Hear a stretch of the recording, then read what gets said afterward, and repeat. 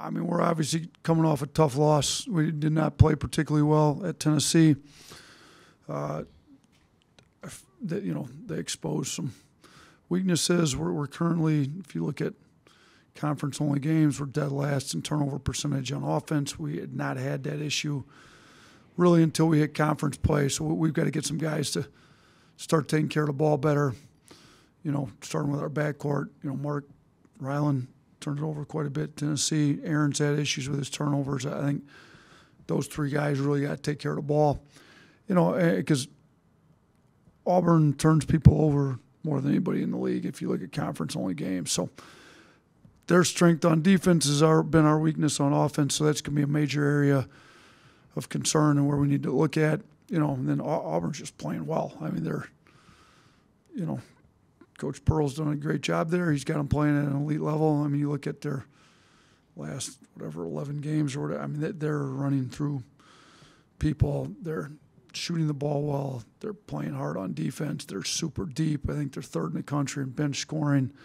So they, they don't have too many flaws. Now, it's going to be a typical Alabama Auburn game. I mean, even when one team's, and they're definitely playing better than we are right now, but even when one team's better than another, these games tend to be tough, hard fought games. We, we were the better team last year, and they came in here and we were down, what was it, 17 with under eight minutes to go because they came and played hard, and we were somehow fortunate enough to get the win. We probably didn't deserve it for at least 30 plus minutes. We didn't deserve that win last year. So it'll be an intense game. Our guys need to play with a little bit more intensity, a little more toughness than we did at Tennessee, a lot more actually.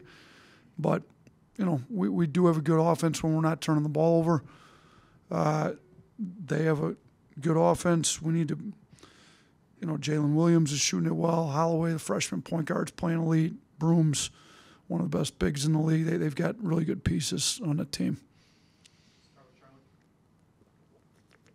Just mentioned Broome. Just how important is it for guys like Nick and Grant and even Mo to play well in this game?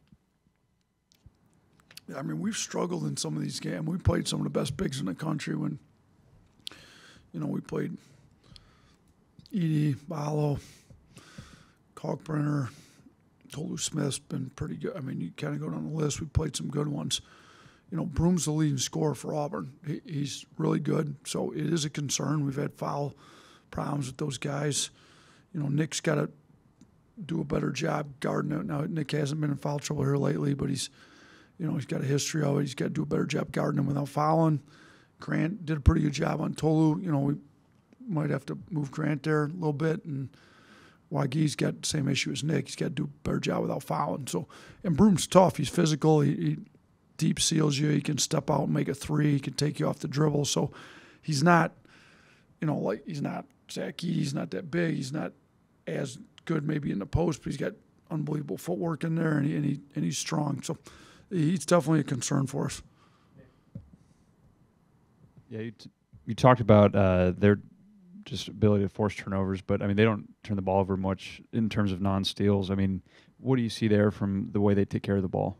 Yeah, I mean, they've got a freshman point guard that's doing a really good job running their team, taking care of the ball. So I, I see a, quality team that's well coached, that understands the value of taking care of the ball, and we got to get better at it. Like, we're not, our defense has never been one to – you know, and they, they, they play super hard, but they kind of junk it up and they'll trap and, you know, different out of bounds schemes to try to turn you over. We haven't done that as much, so we, have been more. Try, you know, we had the number one effective field goal percentage in the country last year on defense. Ours has been a little bit more like that. You know, with this group, we may need to be a little more aggressive at times, similar to them, but you know, they, they, they, they do a good job taking care of the ball. We, we don't necessarily have to turn you over to, to have a good defensive performance but we haven't been as good at, at you know our effective field goal percentage this year. Teams have been able to get to the rim too much and get too many open threes, but we're not going to all of a sudden start gambling, going for steals, putting us in. That, that that's not really who we are. Yeah, coach, how would you describe kind of this matchup, this rivalry, and what it's meant to uh, you and this team since you've been here? Yeah, I mean, the, the, you know, Coach Pearl came in, turned that program completely around. I mean, you look at where it was before he got here; it was at the bottom of this league. So, the, the last three years, the regular season championships have been totally in the SEC. Have been totally in Alabama. You know, in the state of Alabama. We've got two of them. They've got one. You know, they, they've done a good job. I think somebody told me in the last six years since 2017, there's been nine first round picks in the Alabama Auburn games. So you look at the talent. They, I mean, they've had a Curl, Jabari Smith. They've had lottery picks. We've had Kira Primo, Brandon Miller, multiple lottery picks, multiple first round picks from both groups. There's been a lot of talent. There's been a lot of winning between the two programs. Um, there hasn't been a lot of blowouts. They're all pretty close games, and they're, you know, the fans certainly get into it. I mean, they're their environment over there is great. I'm sure our environment here tomorrow will be great. You know, it's, it's a big rivalry game that that you know. And Coach Pearl made the point to me. I think maybe my second year, like this, this game's always been a big game in the state of Alabama. It's it's taken it from a big game in the state of Alabama to a big game in the country. You know, I think games of the night on Wednesday. I think somebody put them out. Maybe it was Andy Katz had the Alabama Auburn game, number one one game, maybe, maybe even of the week. I'm not sure. Somebody sent it to me, but it, it's gotten to be that point. Like this, they're in first place in the league. We're one game behind them. You know, if they beat us, they're two games out, and they've given themselves an unbelievable lead to win the league. You know, if we beat them, we're tied for first place, and we're right there competing for a league championship again. So th- this game has meaning across the country, not just in the state of Alabama now. talked about KD Johnson last night on the radio. Just you know, maybe the season shooting percentage isn't great, but he went four or five against you last year. Just how dangerous is he as a shooter? Yeah, I mean, we made that point. Our guys know it. You know, you can look at his numbers. That is what he's shooting. You know, the numbers are the numbers. He's going to have a, a little bit different edge to him in tomorrow night's game than he has in the rest of these games. And he's one of their real emotional guys.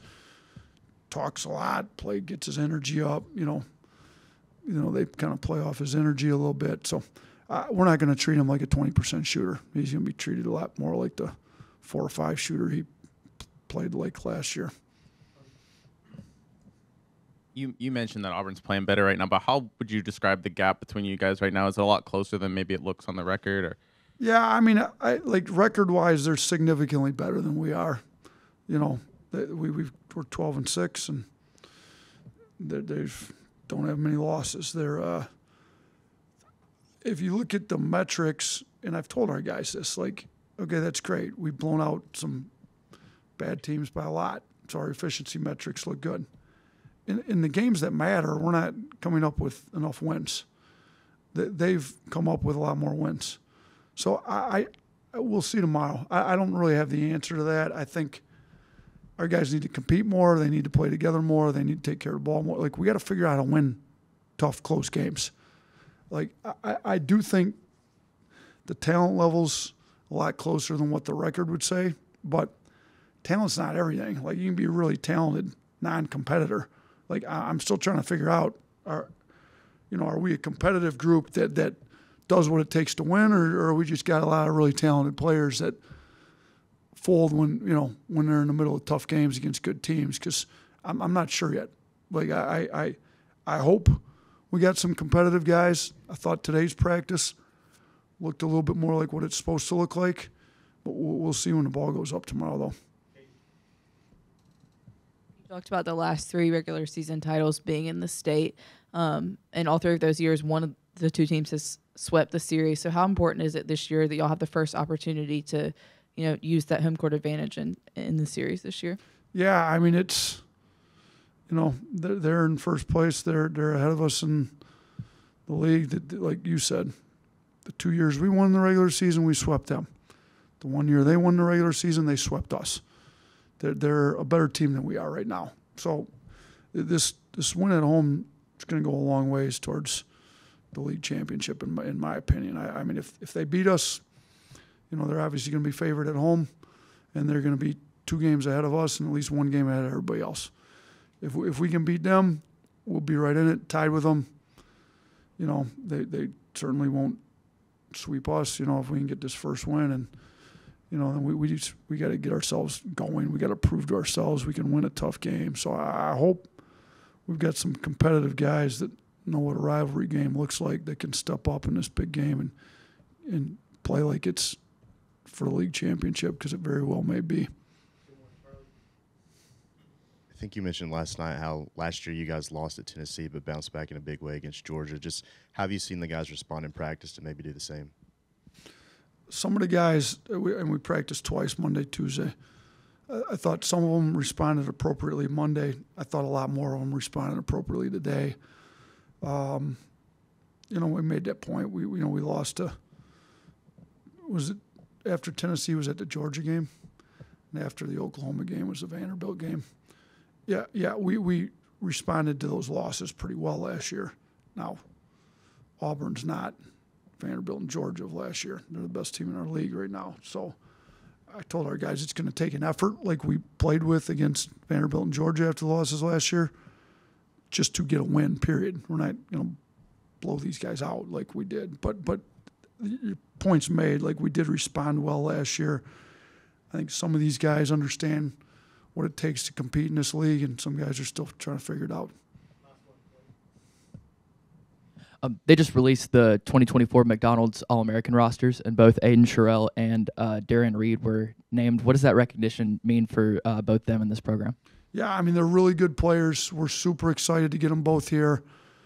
You know, it's uh, those are supposed to be the 24 best players in high school basketball. It's nice to have two of them. You know, when you have more talent, it's easier to be a really good coach. It's easier to win games. So we're excited to have, you know, the opportunity to hopefully have more talent than a lot of our opponents next year. So, you know, our, our assistants did a great job.